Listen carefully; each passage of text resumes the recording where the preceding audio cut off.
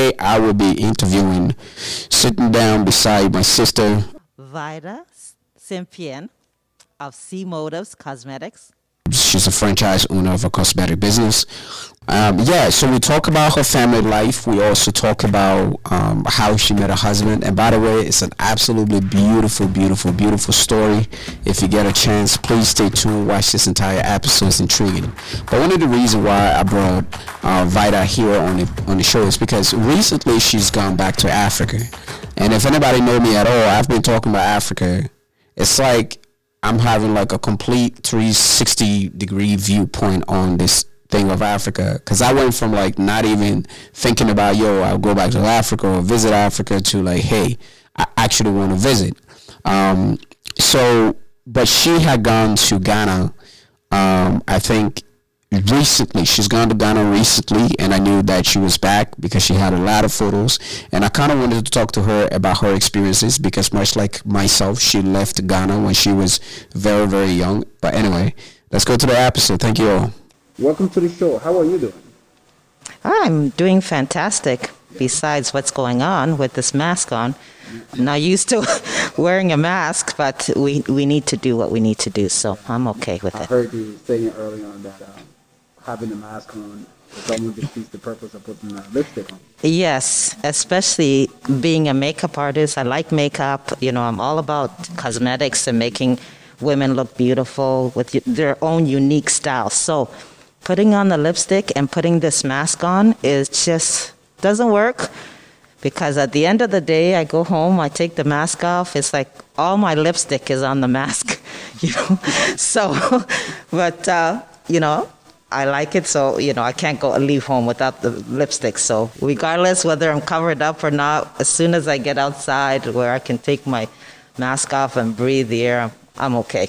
Yeah. no, that's true. Which makes it interesting though, because now you have to. I remember when I was hopping on a train, they didn't have much of a procedures at mm-hmm. the station, the mm-hmm. Union station, not much of a procedures.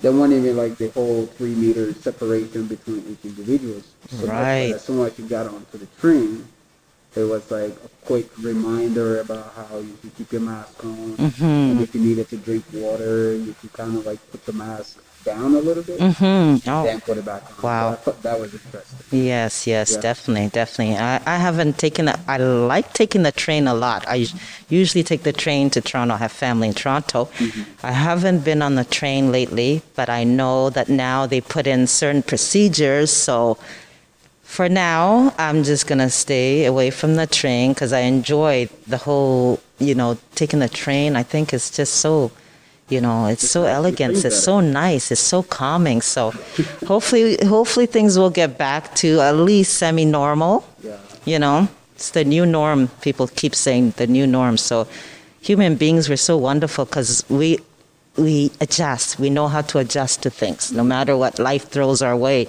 So i'm hoping that this will just you know kind of flow in easy and then one day we'll look back and laugh at this and remember remember when we used to wear the mask everywhere we go so yeah. And we have to keep it positive no matter what right? Yeah. Mm-hmm. yeah we do we do. Yeah. I mean, I, at least we owe that to ourselves mm-hmm. things like that. But what's like the greatest thing you learned uh, during this time of uh, the pandemic and everything? Well that's so interesting because a lot of people ask me this. And what i learned is we got to stop like putting um, attention on things that we shouldn't put attention on. Mm-hmm. Like a lot of times, it's like so many drama going on and things like that. With when this happened, it makes you realize how important life is, mm-hmm. how important the people in your life are, regardless of them being extra or not, because mm-hmm. we're all extra in our own ways, right? So I always tell them, you know, like, don't stress about that don't stress about who said this, who said that. And, uh, you know, and realize that we're all different, you know, we're different, but, and unique. Mm-hmm. So we have to learn to work within that uniqueness mm-hmm. and not in, you know, our differences, which, you know, you see all over the world now. It seems like people are now speaking up you see a lot of chaos around because now people are finally saying enough is enough and they're speaking up. Mm-hmm. But I think COVID kind of brought that out of us somehow, you know? It kind of shook us up to realize that, you know, life is, you know, complicated and, you know, yeah. And that is short too. Um, yeah, yeah, yeah, yeah. And I and I and I see what you, what's going on there. Um, I just learned about what was what's happening in Nigeria with the SARS. Oh um, yes. Situation. Now that I had no idea about. I didn't even know it existed. But apparently the SARS, um, this called SARS um, unit in Nigeria, uh, like the special agent unit, oh. that was actually um, created like years and years ago, decades ago, mm-hmm, mm-hmm. to sort of um, counterfight the um, bank robbers, like criminals, things like that. Oh, wow. But ironically, they themselves have become criminals in a sense, in that they're criminalizing or at least like um, violating the people that they're supposed to be protecting and serving.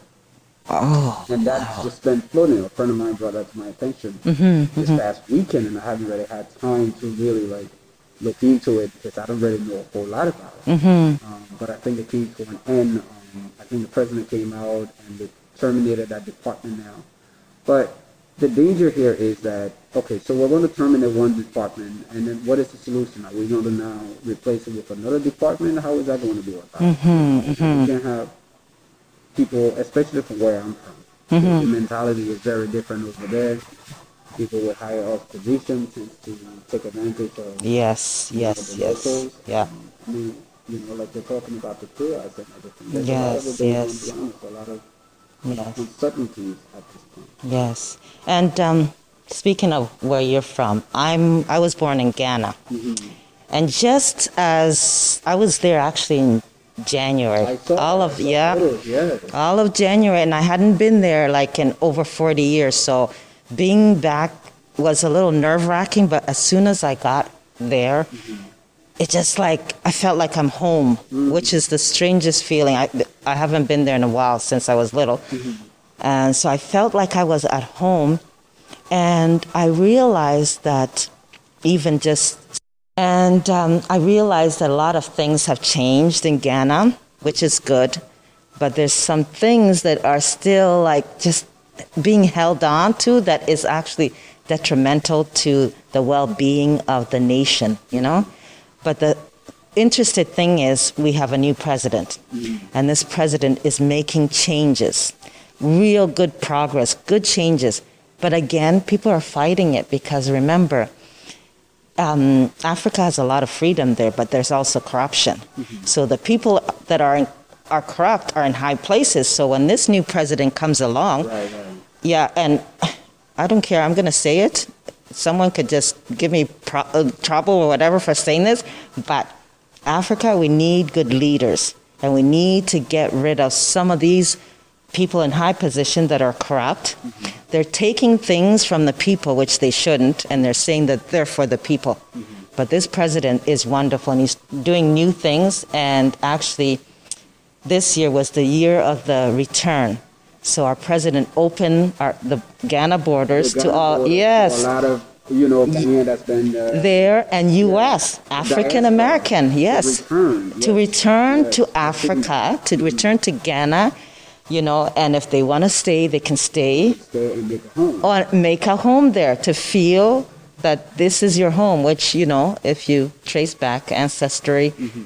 their home was basically Ghana Obama went there. Remember the? Yeah, I remember that. Yeah. Yeah, the castle. He went I was there. At the. That's when we were. Yeah, we were. Yeah, yeah. So he's making a lot of changes, and I was so happy and proud of it because being a Ghanaian African, mm-hmm. I have been away from home a long time, and going back and seeing that yes, there's this uh, a president that cares, and he's surrounding himself with people that care mm-hmm. about Ghana that's a good thing. So it makes me want to go back. Yes, yes, definitely. Oh, that's, definitely. that's amazing. Yeah. Um, so, so you're in Ghana. Mm-hmm. What's like your, the first thing that goes through your mind when you land, you get off the plane? I know it's always nerve wracking mm-hmm. to go back, but like, what's the first thing that goes right through your mind when you get to Ghana? Yes. You're like, oh man, this is Wow. That? That's a good that's question. 40 years. 40 years. That's a long Long time. That's a good question. When I landed, the first thing I uh, did was I looked at the plane that I had just landed because I remember um, the plane taking me to Canada when I was little with my oldest sister. How old were you? I was uh, eight years old when I left. When you left. When I left with my oldest sister. Uh, even my youngest sister has been back. Who she was born? My youngest sister was born uh, in Toronto, and she's been back like three or four times. So I was like, "What took me so long?" But everything happens for a reason. So when I landed there, I looked, and on our plane it says Akwaaba, and in our language that means welcome. So Ghana has always been a very welcoming nation, which is is positive, but it can also be negative because then different nations will come and like the British nation came and they stayed there for the longest time. Mm-hmm. And all these, you know, of course, the slavery and everything like that. But mm-hmm. they're very, very welcoming. Yes, they're very, very welcoming. So that was the first thing I saw on the plane, Akwaaba. And then just this feeling of um, freedom, mm. Which is so strange because I haven't been there in a while, mm-hmm. and I've heard stories about Africa and this and that, all these things on the news that it was so false. Because I felt freedom, and I felt a sense of peace and at mm-hmm. home. Mm-hmm. And the air, the smell of the air brought memories back. I don't know how. Some memories that was like when I was little, locked away, hidden away. Oh, yes. Yes. And then even tasting the food, the water just like triggers that memory of that. And um, I guess that's why I would like to go back again. And uh, actually, we're going to try to make another trip with. Um, my sister and her, her family and a friend of mine who who is from Africa too, but she hasn't been there for a while. So, because when I came back, I could not stop talking about it in the pictures too. I seen the pictures. Yes, yes, yes. I seen the pictures. And that was not even, you know, half of the pictures I took. I wish, like, you know, how pictures doesn't, they always say pictures does not do justice, right? Like, you can't unless you're there. Gorgeous, gorgeous, beautiful place. Like, places that, you know, like, I don't know if the people that live there are really appreciate it. But being born from there and leaving at an early age and coming back, I was like, this is gorgeous. This they will never show on TV. And maybe that's a good thing because if they showed uh, all the beautiful places, probably everybody will be there. everybody will be going there, which is, yeah, Economy will shoot yeah, we're just, yeah. So, you know, in due time, I'm sure in due time. But mm, yeah, that was the first, first feeling I got just the freedom and just like being at home. It was quite amazing, quite amazing. I was telling a, a friend of mine the other day. We were talking about some of the situations that's happening right now uh, with regards to the Black Lives Matters injustice and different things. And uh, one of the conversation that came up, I said, "Hey, listen, friends. You know, people are making the argument that oh, why are corporations suddenly now sort of like handing over." You know, positions to you know black people and whatnot. I said, look, first of all, I guess they're realizing that they messed up. And so now they're trying to rectify that by filling in these positions that they would have, they could have done a long time ago. And furthermore, when I was in Africa, I, I had no idea I was black. Hmm. Mean, it's crazy, but when you live in Africa, you don't really know you're, you don't even know you're black because it's not a terminology we use. It's mm-hmm. not, it's not in the vocabulary, you know. Mm-hmm. But as soon as you come here, you start to realize that You're oh, you black. Oh, might be a human being, but you belong to a different class of people. hmm Yes. Whereas Africa is just, yo, I'm a human being. Mm-hmm. That's all they see. I mean, we go by the family name. yes. What's yes. your last name? Yeah. Those are the things that are important. Here it's irrelevant. Yes. Here is about your skin tone first. You know? Yes. A lot of these issues that is coming about now, I feel like, um, if we had done everything right the first time around as humanity, as human beings, hmm then we probably wouldn't be at this stage in 2020 trying to fight things that we don't really need to be. Yeah. For me, um, morally, I think wherever there's good exists evil, right? And a lot of times it's like, it's not, sometimes it's not even about just the color per se. Sometimes it's also about, you know, good overcoming evil, right? Because there's a lot of people that, if it wasn't for the color too, they would judge on something else. Right. So the color is the main main thing because it's the first thing you see, right? You see. Yeah. Yes, and as human being, we're very visual. Mm-hmm. So we usually see the person first, and then you know, even without wanting to, we make our judgment mm-hmm. based on what that person looks like. Mm-hmm. But this whole thing with the black and white, I remember when I came to Canada in the 70s. This is early 70s, mm-hmm. okay?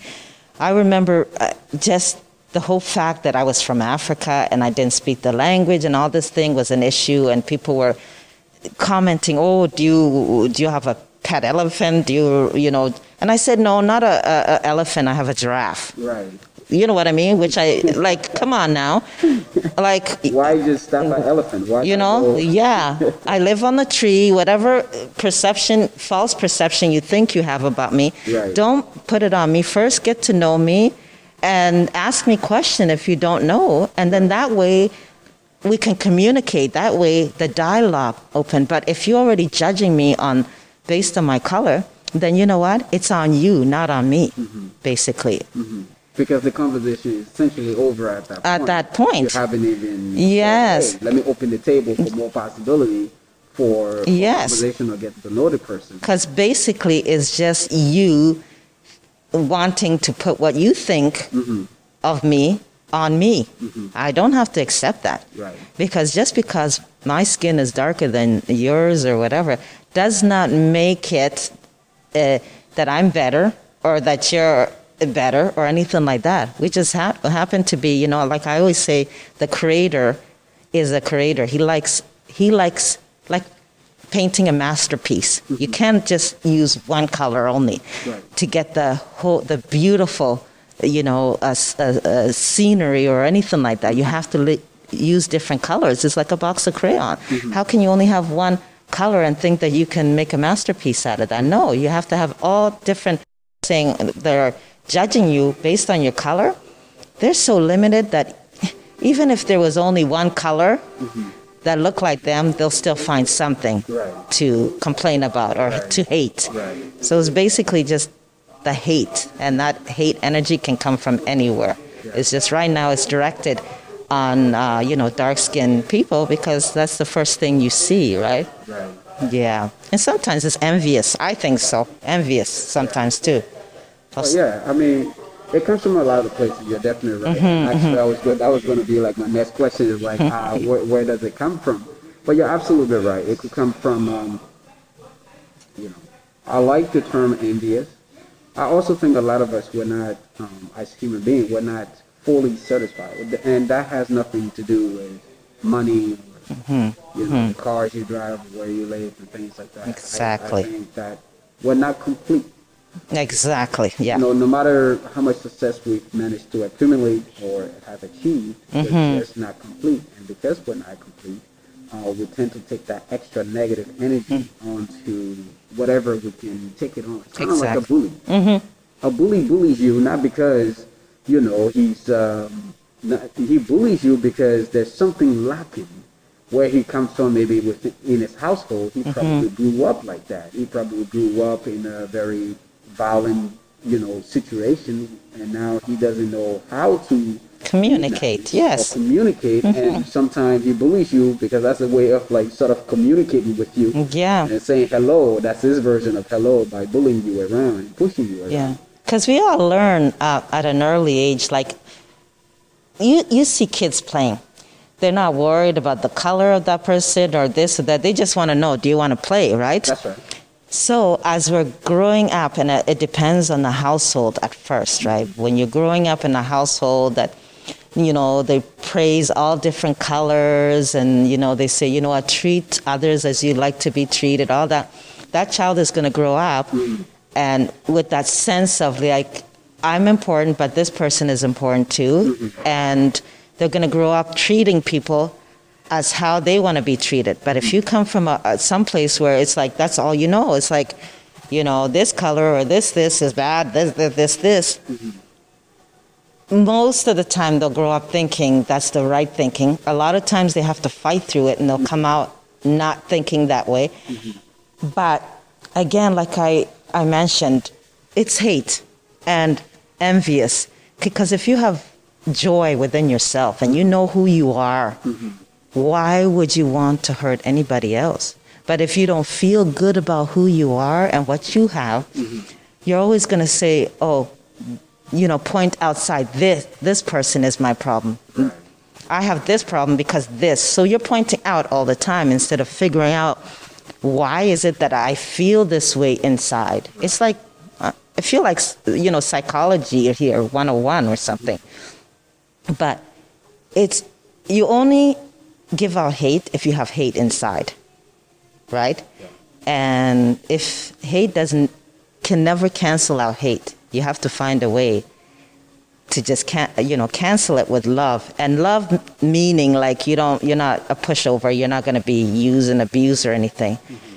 but when someone comes at you with hate you know better you're going to respond to them in not in a hateful way right. but you're going to respond to them in a place where you're you know where you're coming from right. out of a place of love and knowing who you are and knowing your value. Right. And when you know your value, they feel it right away. And you can address that. So I think it's one person at a time. I've had so many um, incidents where, yeah, people, I could, they say it in my face. Like in the 70s, 80s, they'll say it you know, I prefer a certain, even I prefer a certain shade of black people. I prefer more like Halle Berry. I'm like, okay, that's your your personal taste, but you know, you limit your, yourself to so many rainbows of even just or the possibility of knowing new people because you think a black person should look like Halle Berry. She's a beautiful woman. But also, that's what has been sold because Halle Berry really could be basically the next celebrity, the next sex symbol. Yes, so yes. if somebody has taken you um, 20, 40 years ago and said, I see tremendous talent in you. You are a model. And the plaster your posters mm-hmm, everywhere mm-hmm, mm-hmm. and wherever else they can get it, well, the standard of beauty has already been set. So yes, they may still see me and be like, nah, I'm not going to talk to that guy.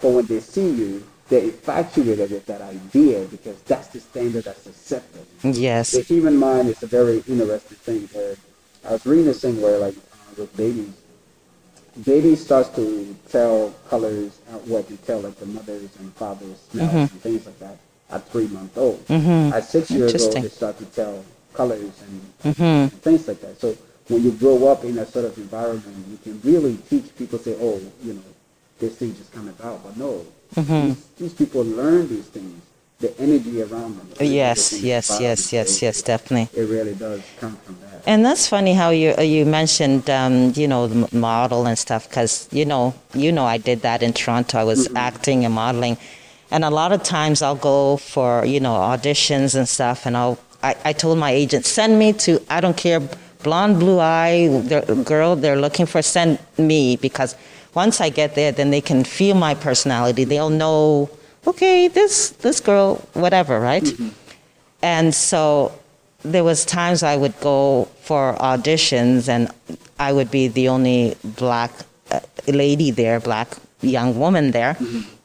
and um, I felt comfortable with that because it's like someone has to make the step right. to say, you know what, there's beauty in all. Sh- shape and sizes and colors, and you should not limit yourself to just only that because you think that's what's going to sell. Because mm-hmm. now the modeling and all these campaigns are coming out. Oh no no no, we got to get more diversity and stuff. But it took a long time, and it took a long time, and it was yes breaking down some doors and this and that, and it's opening slowly. But again, like I said, the hate we'll always try to close the doors that we have opened. So we can't let it do that, you know, and we got to always try to go out of our comfort zone, you know. Mm-hmm. Have different friends that are from all over the world. I, I just, to me, I, I, I love people, period. I don't care where you're from and whatever. If you, you know, if your mind and your heart is good, let's let's build something. Let's do something together, right? right? So, yeah. It's interesting. Yeah. It's definitely, definitely, definitely. Look, if this is your first time on the network watching the show, be sure to subscribe to the channel. All right, subscribe to the channel. It's absolutely free to hit that like button. It's absolutely free to hit that bell and hit that notification so that every time um, an episode is released, you get an opportunity and you get a notification in your mail and you'll be the first to watch those episodes. And also, it's free as well. We don't charge for you sharing the content.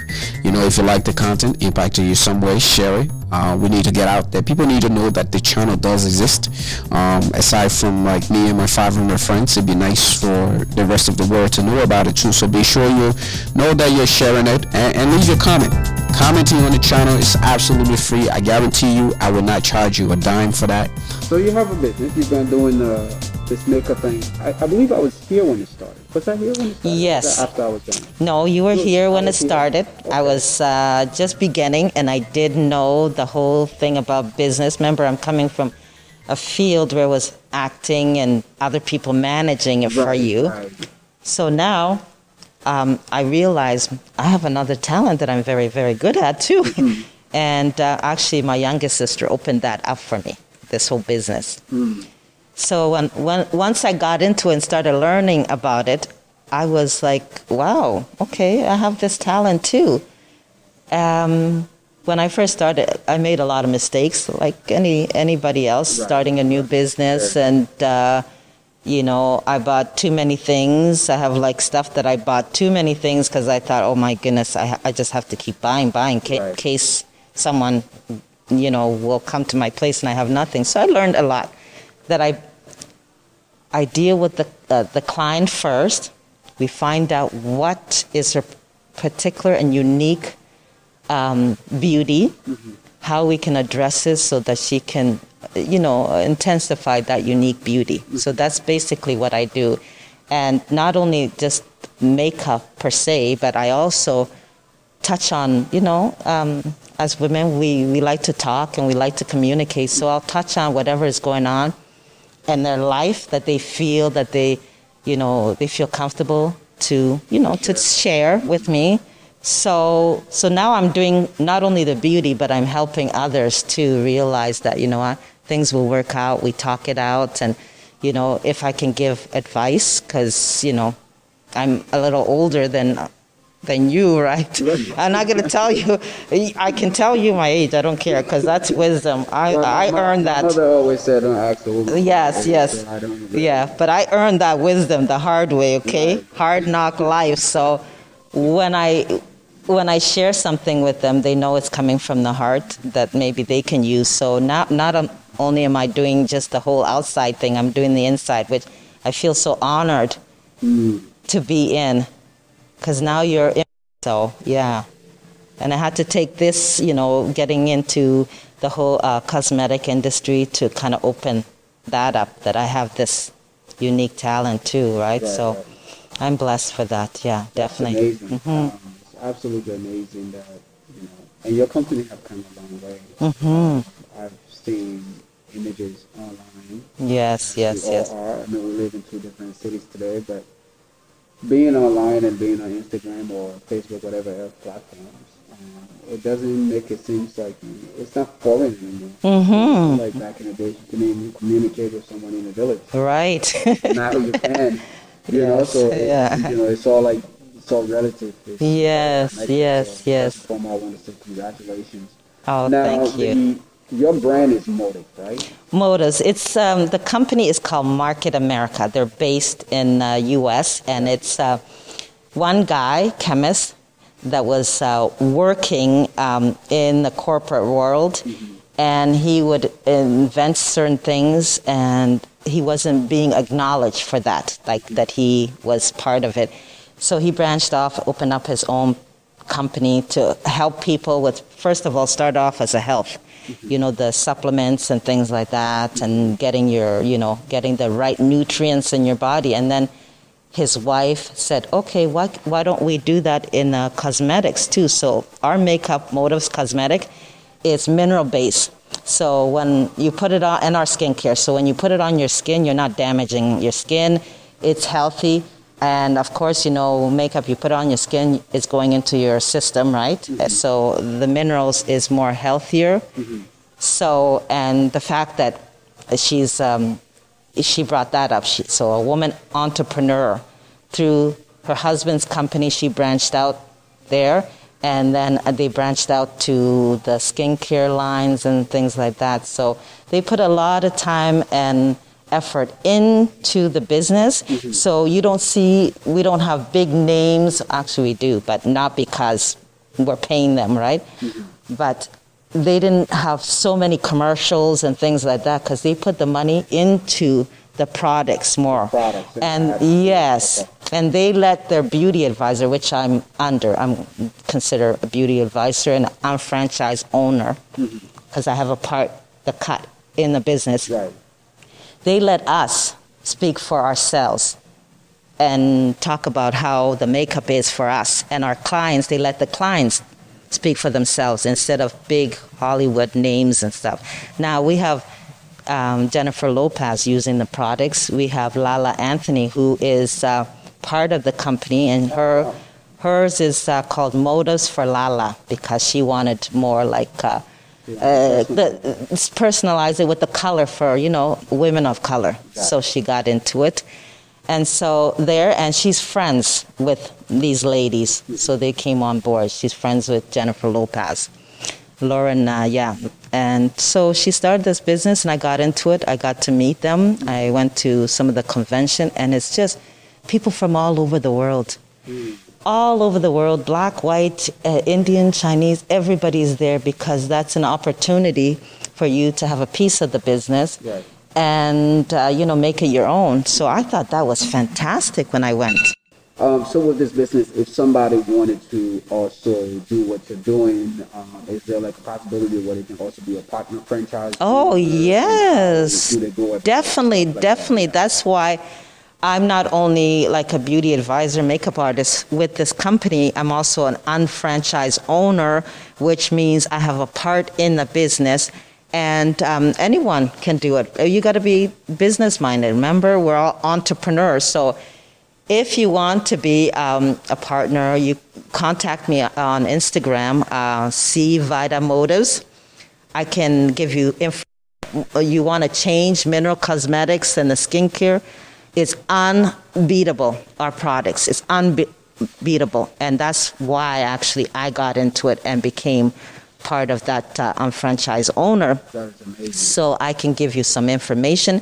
You can search them up, Market America, or Motives Cosmetics, or Lumiere de Vie, which is our skincare line. So we have lots of different products. It's not just only makeup. So you can uh, specialize in skincare or in makeup or even health. You know, so it's not just for only women. Men can get into it. We have a lot of men that are in the makeup part because the men can sell makeup to women like nobody's business. So, yeah, and um, yeah, and then there's we have conventions, we have teachings too to teach you how to manage this. We have custom blend foundation, so you can have your own uh, kit where you can, for your clients, you can make their own custom makeup for them that to suit their their skin tone, which is amazing. So a lot of salons uh, are, um, usually get in there and they're very interested in. So I, I stand behind them hundred percent, and I'm And I like that you mentioned that. Um, just to give you a quick scenario, I know we're wrapping things up, Mm-hmm. but just to give you a quick scenario, being a photographer, I've taken a model, a male model, um, black guy, same Mm-hmm. me, um, into the uh, the shop, the shoppers, to get some makeup Mm-hmm. because we're going to do a photo shoot, and there was only three um, tonality there that would go with our skin. Yes. Like the exact one. You have to blend this and blend that. yes. And things like that. So how many different uh, shades do you all have for like black people? as many as there is shades in dark skin because a lot of times we think it's just dark black skin but black skin has so many tones. We got yellow undertone orange all these things. So the great thing about our company is that they have expanded. That's why motives for lala came into it. So she has a lot of range of different uh, colors for our skin tone plus the custom blend You can custom blend uh, foundation and powder, lipstick, eyeshadow to see, suit that specific color tone, right? So there is no boundaries to that. And uh, that one is really interesting. They have classes to teach you how to do this. So you're almost like playing the scientist with the minerals to form this beautiful color to match that person person. And I even had one made, uh, a few of them made for me and fit me exactly. People will be like, I mean, I have flawless skin to begin with, excuse me, but but uh, when people say, "Oh my, wow, your skin! What kind of makeup you use?" Right? I'm the billboard for that company because I stand by it. I've So seen your photos and I'm like, yeah, yeah. those I great. Like they're like amazing. You look like you're in your 30s. thank you very much. Thank you. Early 30s kind of deal. Thank you. And the older you get, the more you know you need to uh, stand behind good products. Absolutely. Ones that are used mineral, and you know minerals and stuff, they're found in the earth. So if they're found there, it, it's okay for your skin and, and putting it in your body too, because there's a lot of stuff, good products out there, but there's also a lot of like not so great products. For even for your whole system and stuff because you're ingesting it through your skin and your pores. So, yeah, this it's fantastic, and I've been in this for a little while, and I'm just touching on just a little bit of it. There's so much more to learn, and so so creative in this part, and uh, it's become like a, a community. It's like a second family, you know, because they really support you, you know. And there's other beauty advisors even here where we are here in Windsor. There's Toronto, so we all connect together. We meet, so it becomes like like this bond, which you know everybody needs that when you're first starting. Oh, absolutely. Yeah, it's wonderful. Yeah.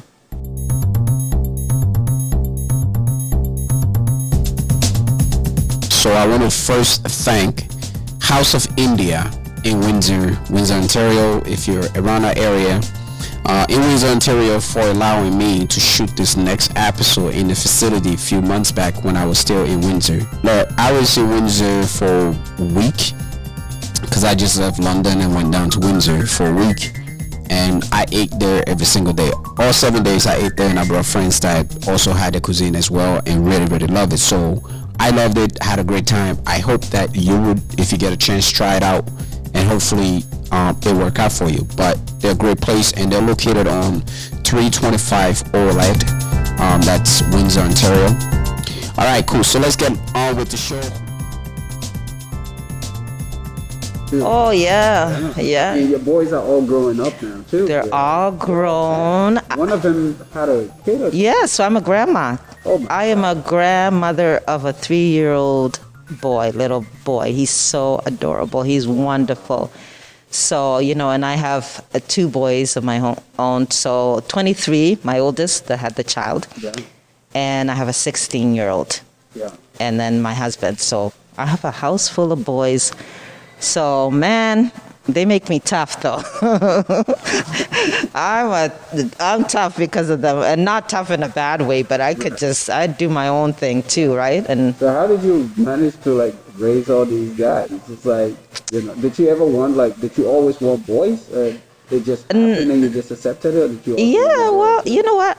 For me, I thought I was just gonna travel the world and do my own thing. You know, when you're in your 20s, you just don't think about early 20s. You never think about uh, kids and husband and family. So I did do that. I traveled to Europe actually, all on my own. Oh wow. So, I mean, I came from a very strong family. Yeah. You know, my the women in my family are very strong, and the men too, but the women are really strong. So, and uh, so growing up, I never wanted to get married. I wanted to. I thought I was just going to travel the world, do my thing. But you know what? As you as you grow, you your perception starts to change. And then I was like, well, it would be nice to have a family. And I had this whole picture of, you know, the family, but I never, I didn't care whether I had a boy or a girl. You know, didn't yeah, it didn't matter at all. It's still, it's still a challenge to be, you know, to be a parent. So yeah, no. But um, then I had the boys, and then that's when I was like, oh, it would have been nice to have a girl. After the boys, I don't know why, but my sister ended up having the girls. Oh, your sister you had the girls, and She, yeah, both my oldest sister, the one that passed, that I came to um, Canada from Africa with, she has boys, so she has two boys. right. And then I had my boys, and we're like, and we have lots of boys in our family. So I was like, okay, we're just gonna have boys, and that's it. But we need a girl to balance things. So my younger sister had the the girl, beautiful girl. She's so much like me. You know, her mom is like a little tomboy, but the daughter is like so ee, ee, ee, extra like me. so there's so many times where we're like, you know, she likes pictures. I like pictures, taking pictures. So when we were in Ghana, I would be taking a Oh, she picture. was with you. in Yeah, she oh, came. wow. We brought her, and this is the second time she's been there. And uh, my sister is married to an Italian guy, so the Italian came, and this is his second, and he wants to buy land. He likes Ghana so much, She went to buy land. and yeah, and maybe they can go when they would and build something and live there. Yeah, so she came, and uh, we like to take pictures. So when I'm taking pictures, there's a picture that I have that I have to post because I'm doing my pose, and behind me I don't see her. She's doing the exact She's pose, photobombing. And I'm like, man, that's little Vida there. That's mini me there. So. we get along so much. So even in, in Ghana, she her parents had you know we had a big house. So my mom has a house there. So they had their room, but she had to sleep with me because my family didn't come with me. Right, I went by myself because the kids were um, they're in high school, and you know I didn't want them to miss anything. Next time they'll come. So she slept in my bed. I read to her. I remember how the kids were. I read to her. We talked. So yes, I do have a little girl. So through my sister. So, which is so nice. She's beautiful, beautiful family. So yeah, my boys are wonderful too. Just so insightful and so I don't know how they got so mature and so full of wisdom. Sometimes I look at them. Probably got it from the mother. Oh, I, I hope so. Mm-mm. I try. I hope so. yeah, I always tease my husband. Uh, he's Romanian. Imagine that. We're like, Right, yeah. My whole family are like a mixture and a half. So I have Russian, uh, Russian and Ghanaian cousins and stuff. A So whole lot of flavor. yeah, so that was never really an issue for I think just being from Africa in itself. I don't really think we have like you were talking about really issues with, you know, black and no, and stuff. know. No. Uh, it's not recognized. I've, No. I haven't been back for so long. Yeah. I'm sure, like, it's not something. It's just not a part of the upbringing. There, it's not part of the doctrine. It's not part of the teaching. no. It's not. It's just not part of it. No. Like I said, it's your family name. That's the Yeah. thing that comes up. Yeah. Your last name, who's your father, and things like that. But that's amazing. So do you? Okay. So a lot of the time, Mhm. especially for females, um, when they don't want to have, say, a family, or they don't want to start a family, they don't want to settle down, they're not, they're not. Um, a lot of the time, what things, what tends to happen is their friends start settling down, and therefore that sort of get them thinking, oh, maybe you know, my best friend just settled down now and Yeah. family. Do you remember exactly the, the, the tipping point for you when you said, ah, maybe Yeah.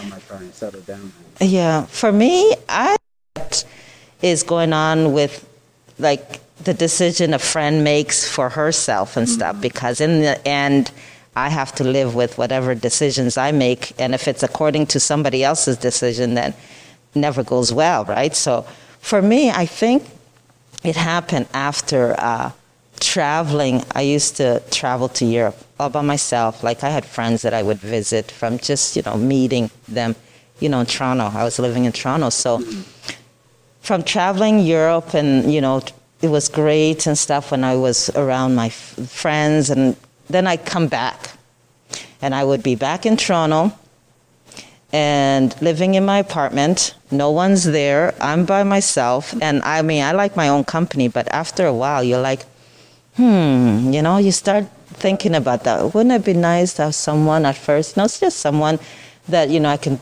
do different things with. And mind you, I had boyfriends and whatever. As female, you never have a problem with that. Right. But someone that would have the same kind of goals as yourself and whatever. So I think it started then after traveling and traveling and traveling and come back and there's no one there waiting for you. And yes, you'll find someone, you know, whatever to date and whatever. But no, to have someone that's like just significant in your life that is always there, that will see your good times and your bad. And um, plus, any man that can handle me, I am marrying him, okay? I said. That's a good thing because, you know, not to say I'm difficult, but I know what I want and you know what I mean? And I'm not going to be like the the little lady, like, ah, okay, Being yeah, be in the kitchen. And, Yes, no, no, no, yes, no. husband, Yes, husband. Yeah, yes, exactly. So um, I knew that I had to also be careful in how I chose. Because a lot of times, being a young woman and everything like that, a lot of times they chose me, I didn't choose, right? Basically. And I would be like, oh, well, he's seems interesting, but he was, you know, interested in me in me more than I was with him. Yeah. So, um, and a lot of times I was like, no, I got to find someone that's willing to handle the tough time. I don't want just someone that's just there for, you know, when everything's good good and time. yeah, and when it's a little rocky, Yeah. bailing out. And Right. sometimes I wasn't even planning on doing that. Maybe it was a test, but I didn't intentionally do that. Mm-hmm. Uh, we would get into issues, and I would watch to see how this person re- react to the issues that at hand. Whether he would think, okay, this can be solved, this can be worked out, or will he be like, oh, this is too much. Let me just Let me yeah. Yeah. So I watched that. And um, a lot of times, it's so strange.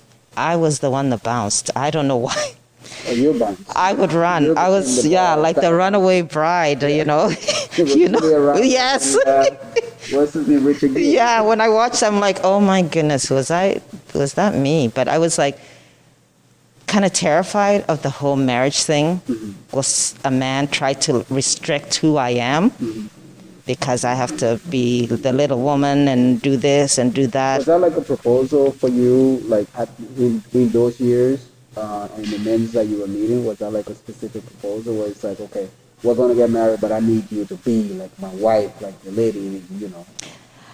There's yes, there's a couple times. Uh, one time now, I'm giving you all the nitty gritty here. My goodness. You we're gonna have a show here. Anyways, I was engaged. Um, now, like I, when I say um, black, white, whatever, okay. For me, I'm international. A man is a man is a man, right? If you're solid inside, that's fine. So I was engaged to an Italian guy, and actually I went to Italy. And uh, I had to run away from there because I'm not saying all Italian men are like that. They respect their mom and everything like that. That's cool. Mm-hmm. But I'm engaged to you, not to your mama. Mm-hmm. So when you can't make decisions mm-hmm. for you and I without basing it on what your mama says, then I have an issue with it because you're not living with your mama. You're living with, you're going to be with me Right. as, you know, and it should be man and woman, not man, woman, and my mama. So I was like, I was, listening to this, I, yeah. I was like, no. When a man, yes, I want you to respect your your your mom for sure. Because if you don't respect your mom, how are you going to respect me, right?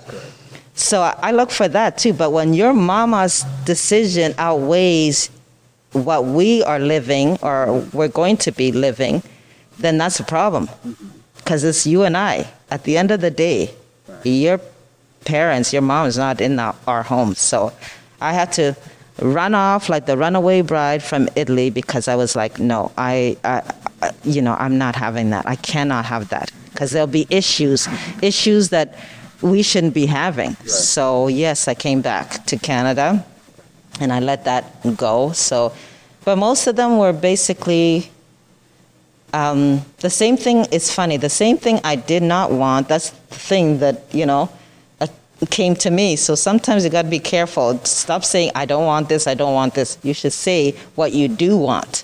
Mhm. You know. Then yeah, because uh, apparently, I mean, I think there's this energy out there. Mm-hmm. The things you say you don't want are the things that start to attract. you, Yeah. Or, or whatever comes out of your mouth. Yes. Those words are powerful. They come back Yes, to you. Exactly. Yeah. So let's go. I'm taking you to church now, okay? So basically, yes, go to church. You know yes. how long it's been since I've been to church? Really? You can do church at home too, okay? Yes. I've been doing church at home. But I'm-. Uh, You, you know what I mean? But I'm like, okay, the, our creator, the creator spoke into being things. And he said it was good, it was good, right? Right.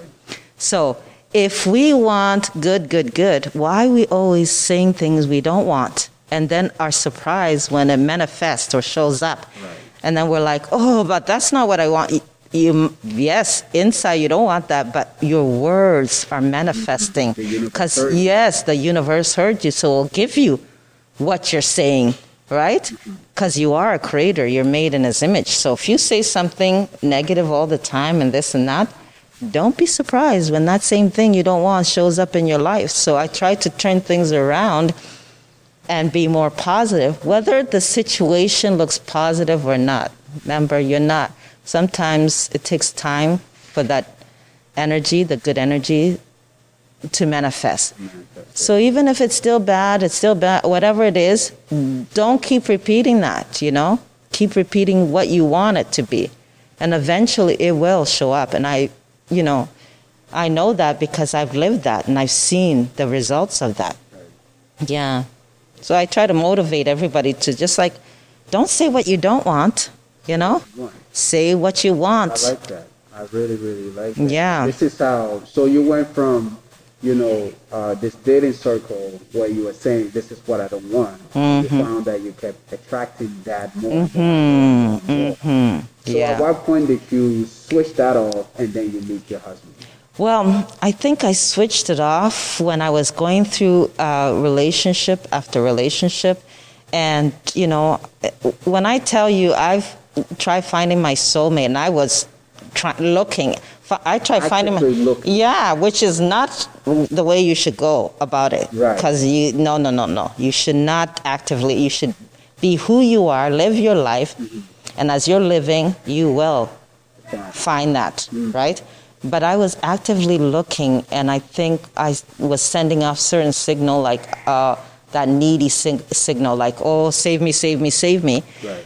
But so international, I've you know dated uh, you know uh, Italian guy, like I told you, Scottish, this, this. That's why when I say man, when you take away whatever, it's he's still you know we s- man, yeah, inside, right? So when I realized that I'm giving out this needy thing, I have to find out who I am first Right. as Vida. Right. Then once I found that out and realized I'm enough, just how I am and who I am, then I relaxed that. Then I wasn't so looking for my soulmate. I need to find him because oh, you know how they, we get. We need to find him at this day. I was like, no, that's not me. I'm not doing that.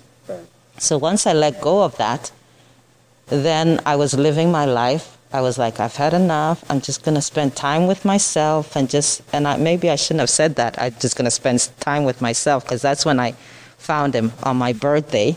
And you were spending time with yourself. Self, yeah. My girlfriend had given me a wonderful birthday party, and we decided to, you know, Toronto go to the. I'm just leaning. It was a two-level place, and I'm leaning down, and just, you know, my sister and my friends, all of them were back there, and um, yeah, and I was uh, leaning over there, and I feel someone like, you know, when you feel someone staring at you, you just feel it, right? So I'm like, someone's staring, I don't know who it is, and things like that. So I'm just standing there, and then this man, and he was, now my husband, I'm seven years older than him, but we look like the same age, okay? Like fine wine, ladies, fine wine, right? We don't age, but anyway, so uh, he came up, and uh, very handsome man. Oh, you, you know, you met my husband, I think, Yeah. I haven't met him. I've seen photos. You see, I actually yeah. haven't met him. At the YMCA, I think you, you have, because he was? like, yeah. Oh, he was? Yeah, because Okay. everybody was like, he's the strongest guy we've seen. Okay, he's Romanian, so you know he's like, Tough guy. yeah, he's tough guy without wanting to be tough. He's just right. So he comes up to me and he's like, "Hello," and he had an accent then because mm-hmm. I just had met him. He had just, I think he was in Canada for all by himself. From Romania, he came all by himself. He's been living there, but he still had his accent. Right. And that's funny because I never liked that accents before, but here we go. Yeah. Yeah, so he approached me and he was like, Oh, you're a very beautiful woman, and um, can I take you out for coffee sometimes? And I said to him, I don't drink coffee. Mm, of course. And he said, Nah. Yeah. We- Uh, you know, I'm giving him a hard time without even meaning to. I didn't want to, but I don't drink coffee, right? Right. So he said, Then how about juice? I like this guy. he said juice. I was like, I was like taken apart back Right. by that because I was like, oh, he didn't give up. I mean, he didn't give up. He asked for something else, juice. I wasn't expecting that. I was like, juice, and he said, yeah. Then he asked me for my number, and I said, uh, no. Why don't I take your number? Because I always, I never give a guy my number. I want to take his number, and then I can decide without you know like whatever embarrassing him or anything whether i want to call him or not and this and that because i got to be now choosy right? Right. So yeah so i took he gave me his number and um, to this day he reminds me of uh, arnold you know the accent Yeah, Arnold. Arnold. Yeah, a young, ver- very, very young version of Arnold. Yeah, so with the accent and everything. But the weirdest thing is that same night after we talked and exchanged number, I saw him again in a separate place from where I'm I, in the club. Yeah. Oh, okay. So I was like, "Whoa, this doesn't happen. Something strange is happening here." Right, right. And I got a little nervous. I'm like, "Why did I see him?" Stalking. Not even that, not even stalking, Oh, because even- no, I didn't think that because um, he didn't know where I was going to go. Right. I was with my sister. We decided, oh, let's stop here. We were taking the cab. Let's stop here for get the hot dog. You know, in Toronto they have hot dog stands all over. Yeah. So it's far from the place. So we stopped at this place, and he's like there at the time. You know, he's a young guy. He's working. The same night, Oh, but just different location. Just different He's taking, yeah, he's doesn't drive, so he's taking the bus. Imagine that. Europe, Europeans can save money like nobody's business. He's taking the bus instead of the taxi. Right. And uh, I met him there, and I was like, this is strange. Right. And I waved to him, and he took the bus. I said, no, no, he wanted to come over to buy the hot dog. I said, no, no, go home. And I met him again. So I thought that was strange. Right. And even the number, I had misplaced his number. But one day, out of the blue, minding my own business, this number appeared in a place where I don't usually put. It was written on a piece of paper that I don't usually. We didn't have cell phone back then. No. no. Now I'm giving my age. eh? This is going. Nobody had cell phones. Or the, or the cell phones were expensive. You know those big old cell phones that you know. No, they didn't have that, and you, nobody could afford it. So, so I saw the number and I said, "Oh, that's strange. Let me just, uh, just call this guy." So I called him, and he wasn't there. And I left the message, and he called back. I wasn't there, and he got my name wrong. He called me instead of Vida, he called me Vida or with an F, Vida or something. I was like, look at this guy, man. He can't even pronounce my name right, you know? I can't pronounce anybody's name. You know? Yeah, so I shouldn't, women do not hold that against guys when they get the name, whatever, you know, wrong. wrong. They don't mean it and stuff. So, yeah, so we made arrangement to meet and uh, made him wait five hours. You were late? I was so late because I'm. Even late. That's five hours. That's like a, I know. It was, yeah, I was coming from Scarborough. If anybody knows Tr- Scarborough, to all the way downtown, like Eaton Center. Okay. And my Is sister, the Eaton Center around the Rogers Center? That's like around the same. Uh, round sort of, yeah, not yeah, general, not so back in the far. Days too. so Yeah. Transit probably. Transit. As efficient as it is. Yeah, in Scarborough, you have to take like two buses just to get to Kennedy Station, then Kennedy all the way up to Yonge, and then Yonge down to Dundas, and you know what I mean. So there, it's no excuse, but it was not. Is he still there waiting? He was waiting. He had, Oh, and actually, it was my oldest sister's fault because she went shopping, and I was like, "You got to take me home so I can get ready to go to my date." When I left, he called my sister, and uh, she said, "Oh well, she left a while while ago." And I got there five hours later, and this man is still waiting, and it was hot, you know, Toronto weather, like summertime, hot. Oh wow. And he doesn't like heat. He likes skiing and cold and stuff, okay? But- I like heat. He was waited. He was about to get some heat. he he wanted some heat, so he waited five hours. Wow. Yeah, and to this day he never forgets it. He said, "Remember, I waited five hours for you, so don't think I don't care," you know. But yeah, and he was there, and he wasn't even mad at well, because it's a new date, and he liked me, so mad, you know. so he wasn't going to be mad. I know, but and I apologized, and also I looked so cute. Yeah. And I was like, oh, I'm so sorry. You know how we do, right? and he just forgave. He was like, oh, you look nice. I said, oh, thank you. I'm so sorry. Uh, you know, that little thing, you know. Ladies, when a man's mad at you, that Barbie doll, like, eh, works. Right. Uh, you know what I mean? Yeah, it works. Don't be arguing with the guy and this and uh, you know. Don't raise your voice more than him. When he raises his voice, that's when yours should be more like, "Oh, honey," you know. Yeah, trust me on that. Yeah, dating 101. Dating 101, definitely. Oh, wow. yeah, That's it was. amazing. Yeah, and we've been together for over 25 years. 25. Yeah, with the same person, and he's he's pretty. He's a cool guy. He's not an easy man, and I that's not what I want. I want a man, man. So he's you know he's pretty cool guy, but he never lets me get away with too much, just enough, you know. Just the five hours. That was enough. Fi yeah, that was enough. He was like five hours. That's enough.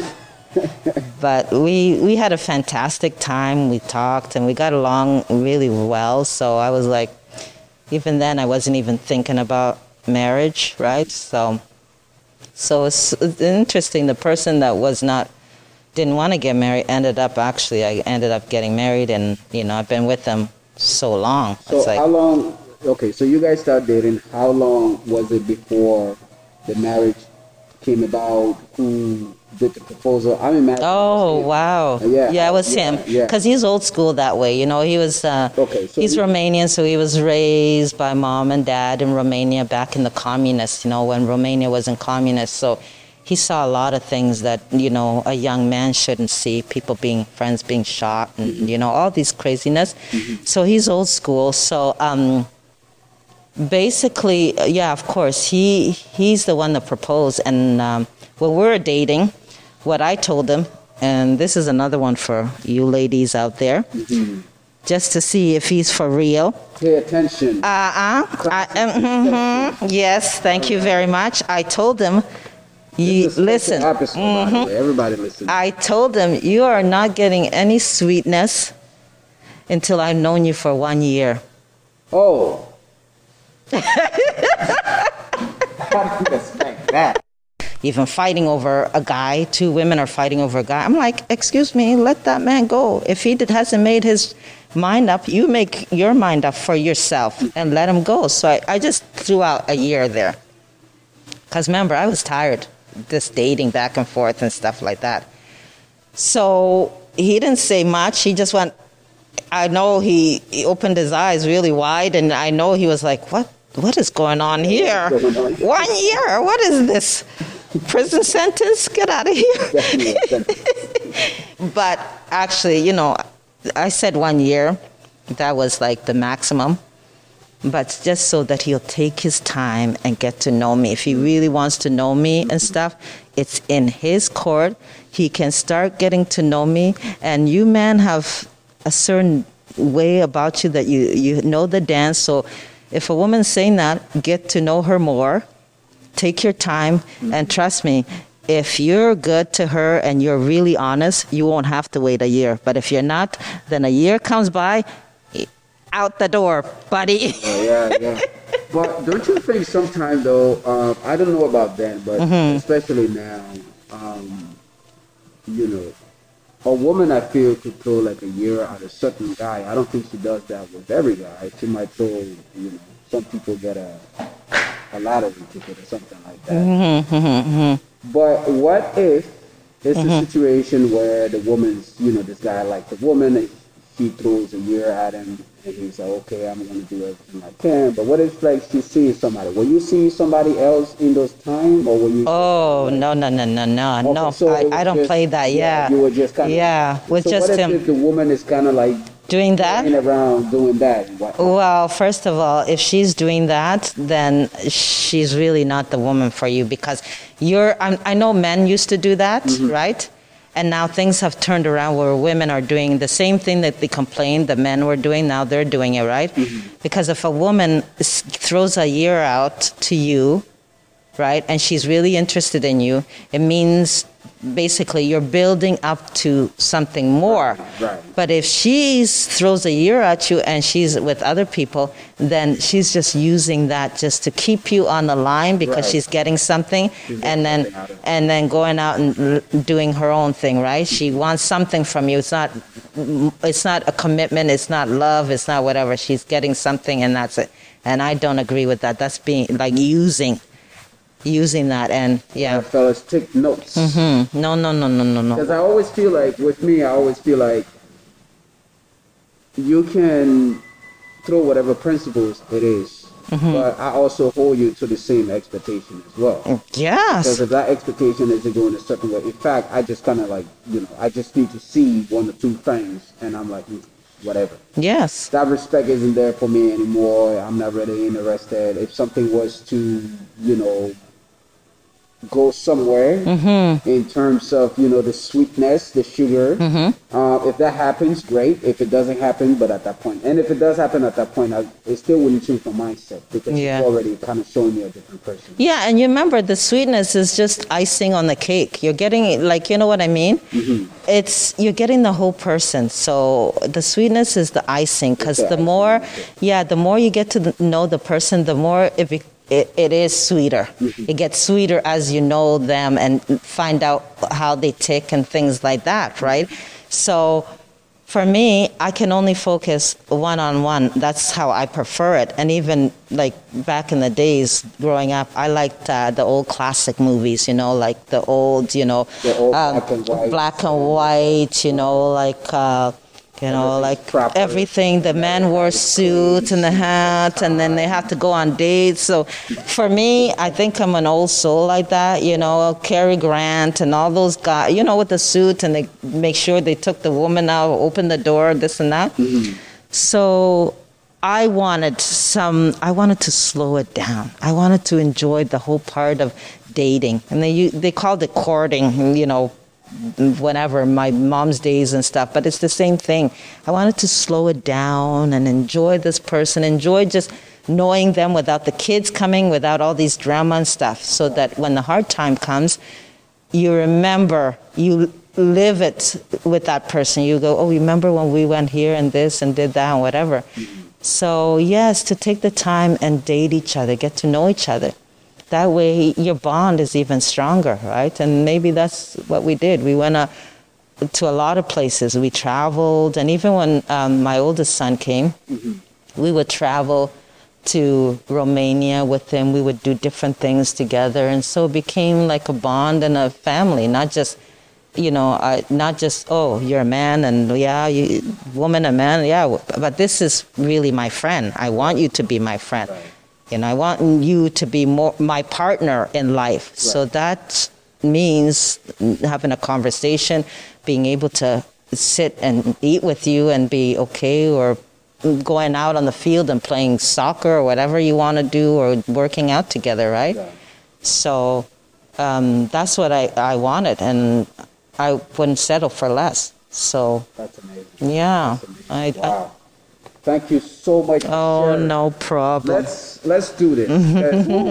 This is uh, you know uh, when I was coming to Windsor, I said normally I do this episode for about half an hour, forty minutes, but I knew that I haven't been here for such a long time, and if I was going to be sitting down, um, you know, being blessed to sit here with my sis Oh, have thank this you. conversation.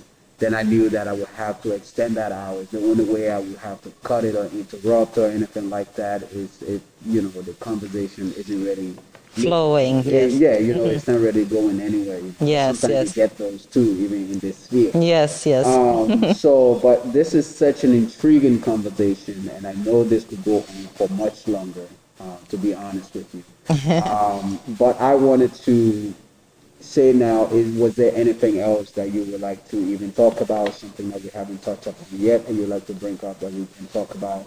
Um, yeah. Yeah, just basically um, what's going on now. It's like we're. It seems like the world is, is in chaos right now, right? We've been bombarded with so many things, especially you look in the U.S. You know, it's not only the COVID. It's like misunderstanding and between you know the politics, the races, the this, that, and it's happening all over the world, right? What I I just want to say is that no matter what, you have to have hope that all this is teaching us something. There's lessons to be learned in that. We shouldn't be fearful. We should be cautious, but not fearful. Mm-hmm. That all things work out, right? That things are might seem chaotic, but there's you know there's you know hope in that even Right. and just not to give up and just to hold on and just cherish the people around you cherish the friends and family and all those that are around you and just keep living life keep living life properly meaning treating people how you want to be treated you know and don't say things you don't mean and you know if you do mean it then you know whatever why find out why you mean that you know treat people how you want to be treated basically you know That's amazing. yeah, basically, yeah. Thank you so much. Oh, no problem. What is- Thank what is you. your handle? Let the people know where they can find you and Well, you can find me on Instagram at C Vida Motives. You can find me on Facebook under the same, and uh, and then you can also find me uh, Twitter. Uh, what else is there? Uh, you're on Twitter. I'm on Twitter. Can you believe it? I'm on Twi- Twitter. I still have to figure out how apps, Twitter works. I've gotten the whole gist of Instagram and Facebook. Member, I'm I'm still learning. I had Right. to get my kids to teach me how all this works. I'm very good on Instagram and Facebook. Uh, I'm on Twitter. You know, so um, yeah, search for me, especially on Instagram. You know, if you need anything, contact me. DM. Thank Yeah. you so much. Oh, thank you. Thank you, brother, for this. This Thank is you all for. Be sure to subscribe to the channel and follow Vida. Uh, I will have all of her handles down below, um, so you will be able to access her page uh, directly, all of them. And so I want to say thank you all for supporting the channel and continuing to support. You know, it's still a pretty small channel yet. We're building every day as we go and bringing in new, interesting people with lots of stories. And hopefully, uh, yeah, you all let us know what it is you got. What's the most valuable thing you got from this particular conversation here today? Again, you can follow uh, 18 Avenue Podcast on all platforms. Uh, that's Apple platforms, uh, Spotify, Anchor,